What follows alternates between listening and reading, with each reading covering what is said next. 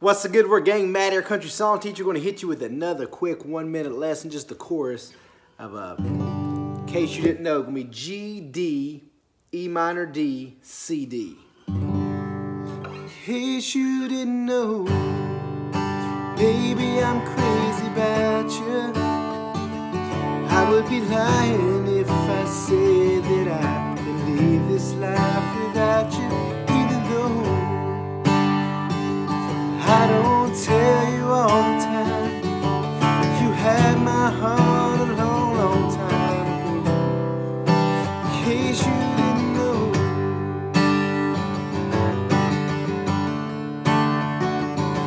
you see that I'm just doing hanging on that little G. In case you didn't know, baby, I'm crazy and I'm about you.